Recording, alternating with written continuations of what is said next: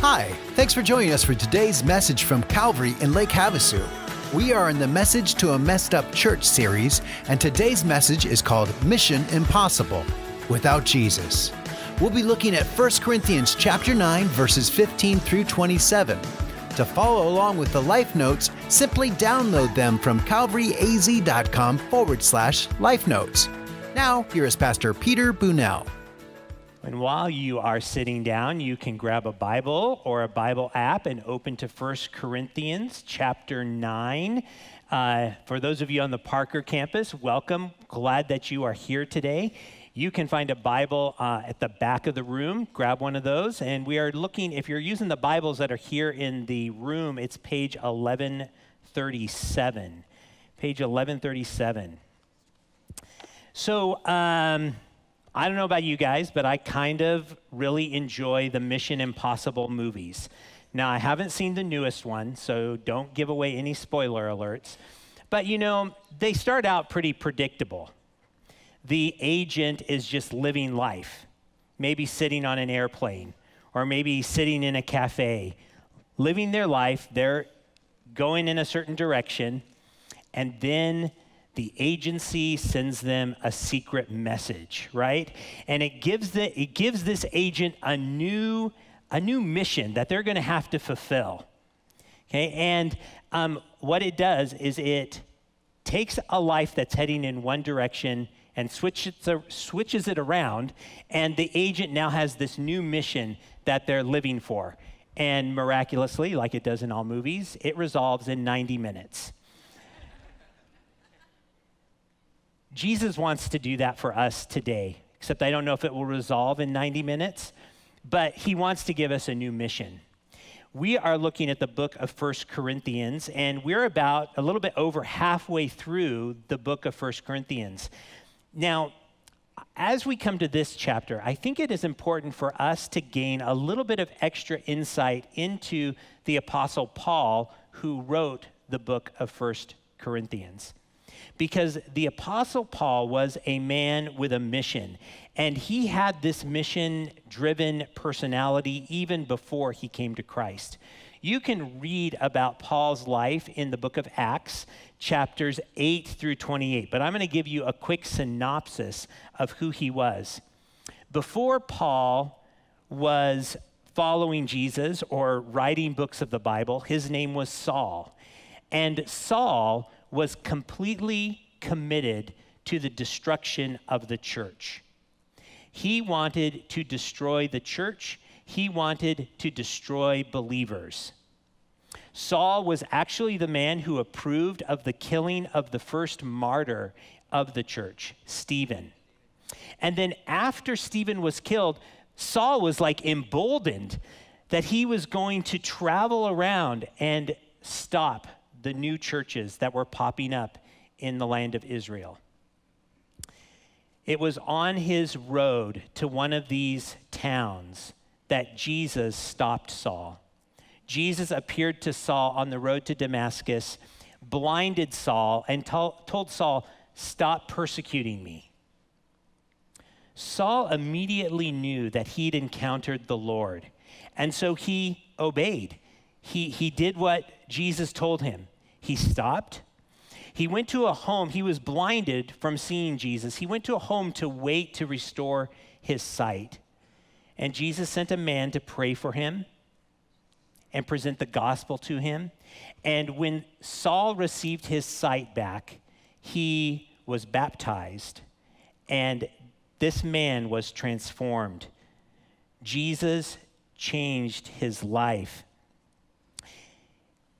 Saul became a man who was committed to sharing the gospel with others. He became committed to the mission of following Christ and helping others to follow Christ. But it took a little bit of time. Saul would eventually change his name to Paul. Eventually, he became the leading apostle in the Roman Empire. He traveled all over the Mediterranean region, starting churches and encouraging believers. Eventually, Paul would become the man who would write more books of the New Testament than anyone else. He was committed to the mission of Christ. Jesus interrupted his life and gave him a totally new mission. And I think that's what Jesus is going to challenge us with today. Last week, we looked at our freedom in Christ, and Pastor Chad led us in chapters 8 and the end of chapter 10, right? Talking about the freedom we have in Christ, but that there are limits to that freedom. Does anyone remember any of the limits? It's a pop quiz time. I'm serious. Does anyone remember? What were some of the limits? You can shout it out. Okay, the mission, right? Very good. What else was a limit? Gratitude. Gratitude. What else? Serving and love. Good. You guys got it. Okay, awesome. Yeah, so so these were limits and chapter 9 is right in the middle. And what we have in chapter 9 is the apostle Paul expanding on what the mission is what the mission is. And what we would see if we look at all three of those chapters and just start underlining, we're going to see that the mission is the gospel. The mission is the gospel. In 1 Corinthians 10:33 as he's wrapping up this section, Paul wrote this. He says, "Just as I try to please everyone in everything I do, not seeking my own advantage, but that of many, that many may be saved." Paul wanted to live a life and to do ministry so that as many people as possible could come to a life changing relationship with Jesus. The gospel, we need to be really clear on what that is. The gospel is the good news that Jesus came because of God's love for you and me. Jesus came. He lived a perfect life, but then he died on a cross for our sins. He took that death that we deserve so that anyone who trusts in what Jesus did would be forgiven. Now, of course, Jesus was perfect and he is God. And so death did not hold him down. Three days later, he rose again. And this proves that he can be our Savior. This proves that we can trust him to give us new life and to take us to heaven. This is the gospel, and this is the mission. Has that reality changed your life? One person, really? Has that reality changed your life? Good. I'm glad to hear that. But you know, you might be here and it hasn't changed your life, and it can in an instant. It, it, it's not rocket science, it's simply trusting in what Jesus did. It's saying, hey, I know I'm heading in, in the wrong direction. I can't live life on my own. I'm going to turn around and I'm going to trust Jesus and I'm going to follow him. It's trusting what Jesus did and following him. And then after you trust Jesus, he changes your life, and his mission, the gospel, becomes your mission, just like it did for the Apostle Paul. Jesus, 2,000 years ago, told his followers that this truth of the gospel needs to be proclaimed everywhere, to every tribe, to all people. This is a mission that he set his followers to accomplish 2,000 years ago. Now, unlike the movies, this mission will not self destruct. It has stayed the test of time for 2,000 years. It's as real today as it was when Jesus first spoke it. So, the mission, if you choose to accept it, will take time. It took time for the Apostle Paul. Paul didn't jump from being a new Christian to being a missionary. He didn't start writing the Bible the day after he was baptized. It took time. But by the time the Apostle Paul had written 1 Corinthians, he had some well tested principles on how to complete the mission. So, as we look at chapter 9, we're going to look at Paul's principles for completing the mission. The first part of chapter 9, we don't have time to read all of chapter 9. I encourage you to read it on your own. But the first part of chapter 9, Paul talks about the fact that he gives that, gave up his right to receive money for preaching the gospel. He could have asked people to donate to him as he was preaching and traveling, but he gave up that right. Um, he could have taken a believing wife along with him, but he gave up that right.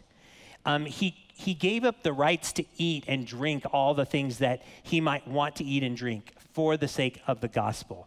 So that's what the first part of chapter 9 talks about. And then uh, on the last part, we're going to start in verse 15. So if you've got your Bibles or your Bible apps, you can read along here. Verse 15. But I have made no use of any of these rights, nor am I writing these things to secure any such provision. For I would rather die than have anyone deprive me of my ground for boasting. For if I preach the gospel, that gives me no ground for boasting, for necessity is laid upon me. Woe to me if I do not preach the gospel. For if I do this of my own will, I will have a reward. But if not of my own will, I am still entrusted with a stewardship. What then is my reward? That in my preaching I may present the gospel free of charge, so as not to make full use of my rights in the gospel.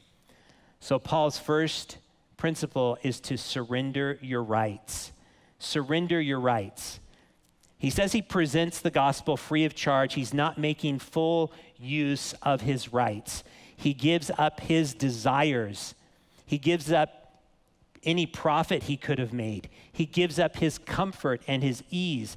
Um, Paul was actually a tent maker. So he would actually be sewing tents and repairing tents while he did his missions work and while he traveled in order to supply for his needs. And he did all of this so he could effectively complete the mission and share the gospel. This reminds me of the Tuskegee Airmen of World War II. Uh, that movie, uh, I think it's called Red Tails, tells this story of the Tuskegee Airmen. The, during World War II, the fighter pilots would be tasked with going to protect the bombers as they would go into enemy territory and drop bombs on the enemy. And these fighter pilots were tasked with the job of protecting the bombers. But as the movie tells it, the, the aviators were very, very committed to their own glory, right? They wanted to rack up how many enemies they could shoot down, and they wanted the thrill of the fight.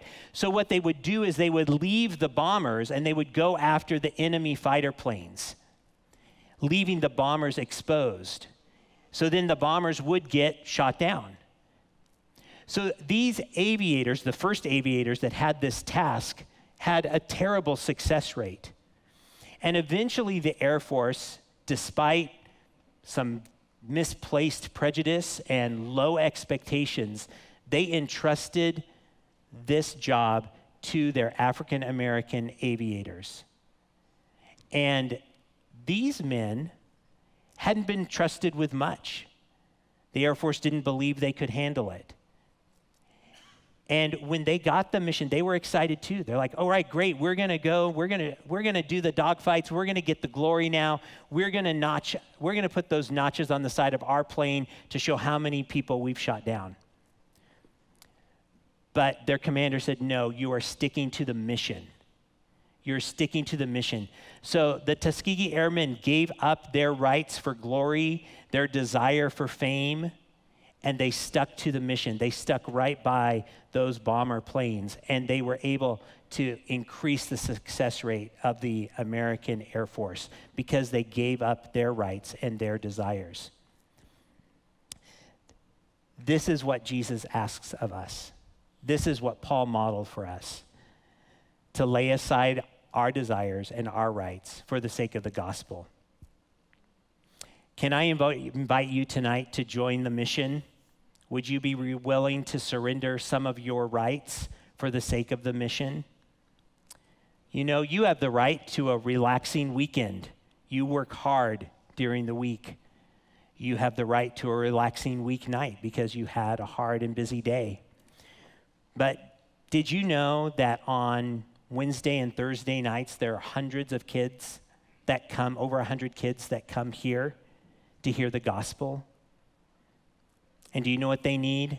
They need adults who will love them and who will share the truth of Jesus with them and model what it means to live that way. You know, every weekend on this side of the building and on this side of the building, our classrooms are filled with over 200 kids that need to hear the gospel. that they need adults who will explain to them what Jesus did for them and model Jesus' care and love for them. And this is a real need. We need adults in all of those ministries. So, my challenge to you is if you're gifted and skilled and talented at working with kids or with youth, and of course, if you can pass a background check, I would love to invite you to fill out one of those Red Connect cards and let the family ministry team know that you would be willing to explore serving in those ministries and completing the mission here. Maybe you're called to a different population, though. Maybe kids, that's not your thing. We need mission driven people who are willing to work with young adults, who are willing to work with those with special needs, who are willing to go and visit shut ins who can't come to church. Maybe you have a specific population in your mind that you're like, I know these people and they need to know Jesus, and I want to be a part of reaching them. Maybe you're gifted at hospitality. So, welcoming people onto our campus, making coffee for them, uh, making sure they find seats. Maybe that's something that God is calling you to do. That is all mission. That is all mission. And maybe you want to use your muscles for the mission. Every Friday morning, there are men here that are moving these chairs around, getting them straight, getting them situated. Maybe that is a place you can engage in the mission. But I want to encourage you give up some of your rights so you can engage in this mission work. Now, I just talked about ministries that are within these walls of this church. But you know, there are thousands and thousands of people outside of these walls that need people that are driven by mission, that need people that are willing to tell them about Jesus and represent Jesus to them. And I think that some of Paul's next principles will help us kind of understand how we can go about doing that. So let's keep looking at 1 Corinthians chapter 9. I'm at verse 19 now. So in verse 19, Paul writes, For though I am free from all, I have made myself a servant to all that I might win more of them. To the Jews, I became as a Jew in order to win Jews. To those under the law, I became as one under the law, though not myself being under the law, that I might win those under the law. To those outside the law, I became as one outside the law, not being outside the law of God, but under the law of Christ, that I might win those outside the law. To the weak I became weak, that I might win the weak. I have become all things to all people, that by all means I might save some. I do it all for the sake of the gospel, that I may share with them in its blessings. So that gets to be a little bit of a, a mouthful, right? But let me just say this if I could sum it up in a few words, it's relate to others. Relate to others. That's his second principle. Paul's priority was on relating to other people. So to the weak, he became weak. To the Jews, he became like a Jew. To those who were outside of the Jewish law, he became like those outside of the Jewish law. He did whatever he could to reach the people that he was tasked to tell the gospel to. So, we often, when it comes to sharing the gospel, we have a come and see model, right? Jesus and his disciples did this a lot. We invite people to come and see what Jesus is doing. Come to church with me. I want you to see what's going on. Come and see what Jesus is doing. And that's a great model. Jesus used it. But we also need to engage a little bit in a go and tell model as well. Go and tell. We need to be willing to step out of our comfort zone and go and tell other people about Jesus and let them know how he has changed your life. So in 1999, when my wife and I first started dating, I told her something. I said, We're not going to go on the mission field. I knew that my wife was interested in missions, but I was like, If we're going to date, I just want you to know we're not going on the mission field. So she said, Okay, great, good to know. And uh, we got married a year later, and then two years after that, we were on a short term trip to Mongolia. We were, we were on the border with Siberia, and we were in a town of 20,000 people. And in that town in 2002, they didn't know of one person who was a believer in Christ. 20,000 people, not one believer that they knew of. And for me, I was like, okay, I live in California. I live in a town where there's a Christian school and there are so many churches. I don't need to be in this town in California, but I need to be in this town in Mongolia. So I told my wife, I think we should move here. so when you go on the mission field, you have this task of relating to people but you are reduced to the position of an infant because you arrive there and you don't know the language and you don't know the culture. Uh, you don't even know how to go to the store to buy something, right? And so you go and you are thrust into this living situation. And what missionaries will do is they will spend years in language study and cultural acquisition. And the reason that you would do that is for the mission. It's so that you can relate to somebody and you can be able to talk with them and communicate with them and share the gospel in a meaningful way that means something to them. So let me ask you this question How are you relating to others? For me, this is, a, this is convicting for me. You know, it's hard to sometimes learn how to relate to other people that are different than you but we need to be relating to others. We all probably have relationships with friends and family members that need to know what Jesus have, has done in our lives. But we also need to be cultivating those relationships that maybe are new to us so that we can relate to them. Maybe God is going to be calling you today to use your retirement to go overseas. Maybe He's going to be calling you today to engage in using the resources that you have to send someone else overseas or to reach um, orphans that are in Honduras through our compassion ministry. There could be so many ways that God is saying, hey, catch the mission, relate to some other people. And now let's look at Paul's last principle. We find it at the end of 1 Corinthians 9, starting in verse 24. Do you not know that in a race all the runners run, but only one receives the prize? So run that you may obtain it. Every athlete exercises self control in all things. They do it to receive a perishable wreath, but we an imperishable. So I do not run aimlessly. I do not box as one beating the air, but I discipline my body and keep it under control lest after preaching to others, I myself should be disqualified. So, this passage is probably one of the more familiar ones. If you've heard this about running the race, you know, it's familiar, and we get that idea of running a race. And you know what's interesting about that command is that is the only command in all of chapter 9. Paul is telling everyone who's reading it, run the race. And that race is the gospel mission that he has been talking about throughout this whole chapter. Run the race. We can resonate with that sports analogy, can't we? We understand that athletes need to train, they need to build strength, they need to build endurance, they need to improve their skills, they need to know the rules of the game.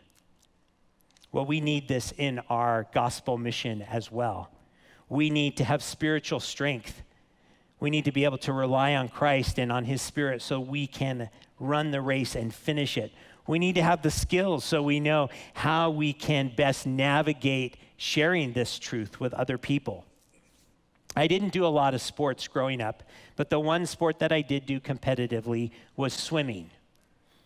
Now, when you're doing competitive swimming, there are a lot of little nuanced rules that you have to be aware of right? Depending on the stroke you're doing, will depend how many hands you have to touch the wall with.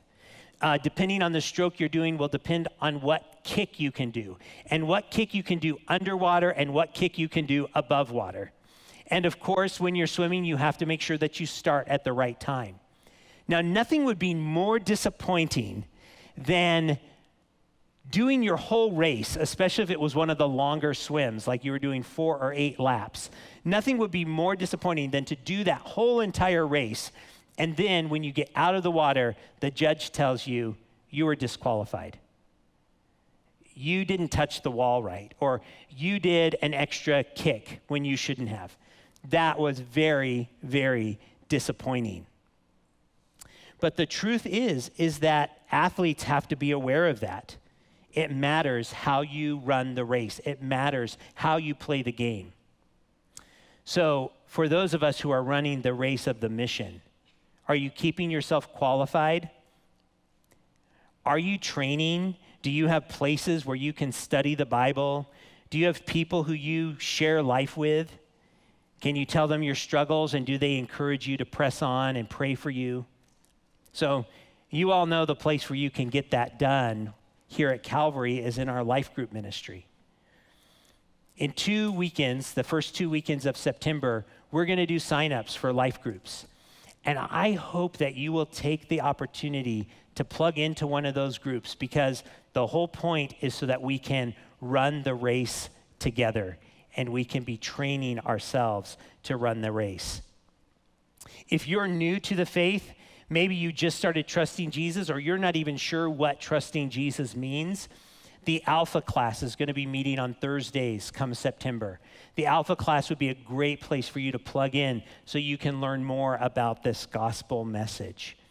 Maybe you feel like you don't have enough knowledge of the Bible. So when it comes to talking to someone about God, you're like, I don't really know the Bible well enough. I don't really want to do that. There are some opportunities that you have coming up. There's Bible studies that meet at the McCulloch campus on Sunday mornings. Uh, we have a Bible study in the book of Revelation that is going to be starting up on Thursday nights. Can jump into that. There's women's Bible studies and men's studies that will help you read the word and understand it a little better and increase your knowledge of, of what God's word has in it. And then there's going to be life groups. There's going to be life groups that you can join. And the beauty of a life group is that you guys are running that race together. You'll be able to read the Bible together, talk about what it means, talk about how you're applying it to your life. You'll have people that will pray for you, that will encourage you when you fall down, encourage you to get back up. We need training partners, right? Life groups is a place to find that. So, this mission, should you choose to accept it, will require you to surrender your rights. It will require you to relate to others, and it will require you to train yourself for the race. It will not be easy, but it will be rewarding. Paul ends this chapter with this hope of an imperishable reward. An imperishable reward. This is different than the trophies that you won as a kid or a high school athlete. This is different than the plaques and the accommodations that you might have earned as an adult and you have hanging on your wall. These are eternal rewards that last forever in heaven. And I hope that that hope of an eternal reward will spur you on to accept the mission, which would be impossible without Jesus. Would you pray with me? Heavenly Father, God, we are so thankful that you changed lives, that you send Jesus to uproot us and set us on the right path.